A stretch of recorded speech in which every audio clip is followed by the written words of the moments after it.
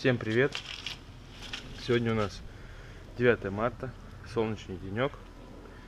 Сегодня я буду заниматься изготовлением гнезд и расскажу вам немножко о материале, о материале и конструкции самого гнезда.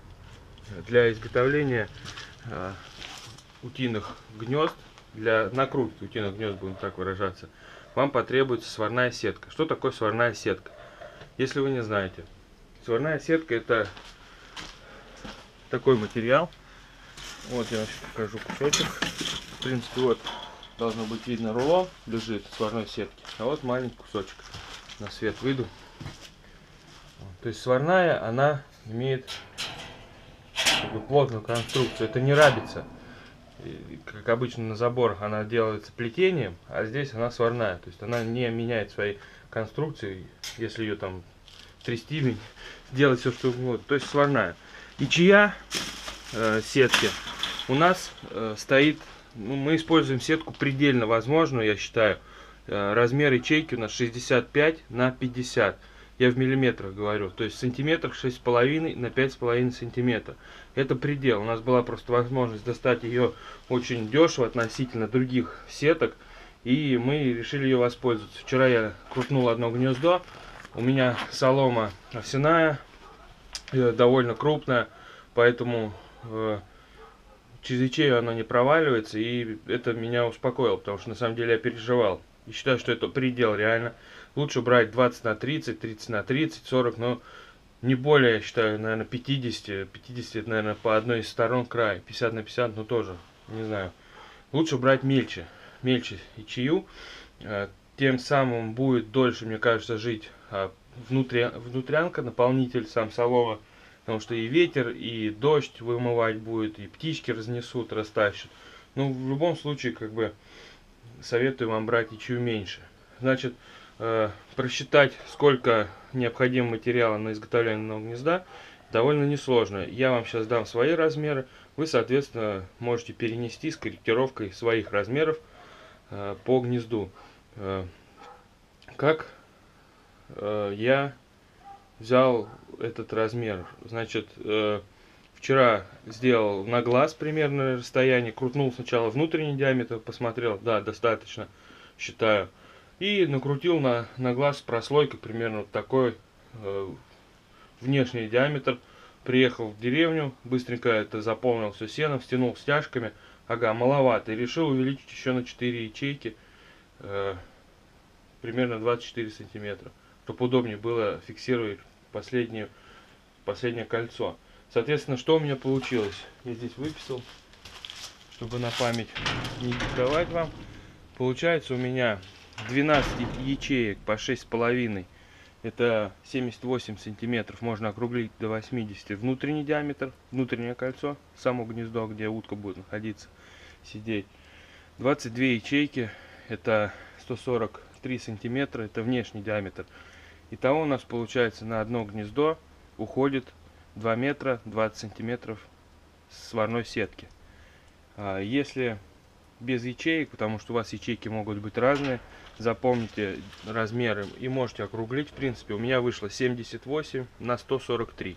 78 это внутреннее кольцо, это расстояние нам необходимо будет, когда мы будем э, крутить уже само гнездо. Когда резать, мы будем заготовки делать сейчас. Вот в данный момент я буду нарезать, вот покажу, буду нарезать вот такие вот пласты. Вот этот пласт из сетки, уже, не, уже из него можно крутить одно гнездо. Так будет удобнее работать с пластом, нежели с большим куском. Э, по крайней мере для меня. Вы делаете как хотите. Я вам даю свой размер. Он выходит 78 э, на 143. То есть округляете 80 на 145. Соответственно, э, когда будете резать, смотрите, не отрежьте 80 или отдельно 145. Нужно сложить эти две суммы, потому что внутренний диаметр плюс внешний.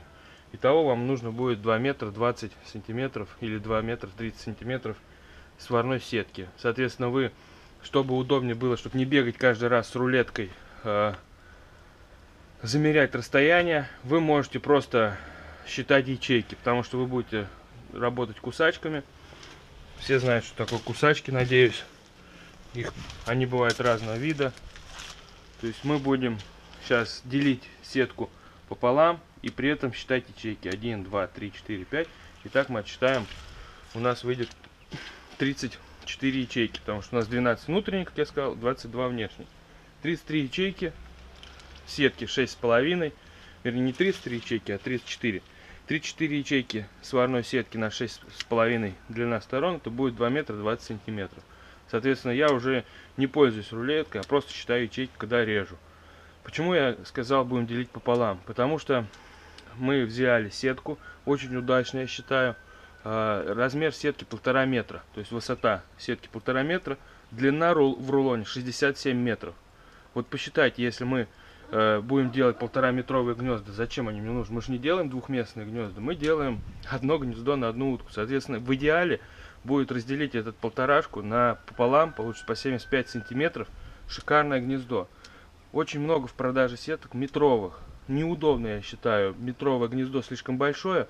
Отрезать кусок, делать там 80 сантиметров, 70. А кусок это ни к чему, просто уже не годится. А вот в идеале найти сетку полтора метра, разделить ее на два, и получится у вас э, огромнейший запас будет материала. Э, там вам хватит накрутить, вы столько даже не накрутите гнезд. Вот, на самом деле. Поэтому вот у нас вышла сетка. Значит, э, длина, вернее, ширина рулона полтора метра. Это э, 29 ячеек на 5. Вот, соответственно, мы делим э, по 14 у нас не получается. Будет с одной стороны 14, с другой 15. По 15 ячеек, то есть э, в данный момент вот таким образом я ее раскручиваю. Дальше что я беру? Беру, отсчитываю. Раз, два, три, четыре, пять, пять, шесть, семь, восемь, девять, десять, одиннадцать, двенадцать, тринадцать, четырнадцать. Четырнадцать ячеек. По этой режу.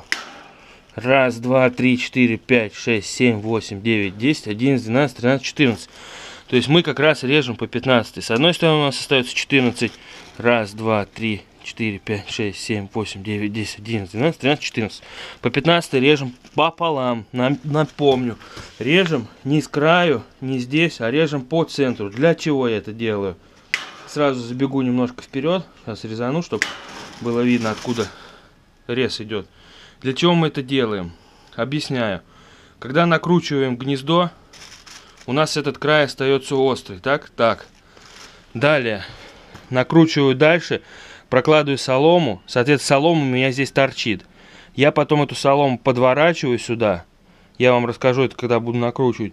А эти конечки я подгибаю, тем самым солома не будет вываливаться. Это такое, такая маленькая хитрость. Я просто смотрю на часы. Сейчас надо ехать за товарищем, будем вдвоем сейчас накручивать. Ну, сначала готовить материал. Нам надо сделать, нам надо сделать 30 штук, 30 гнезд.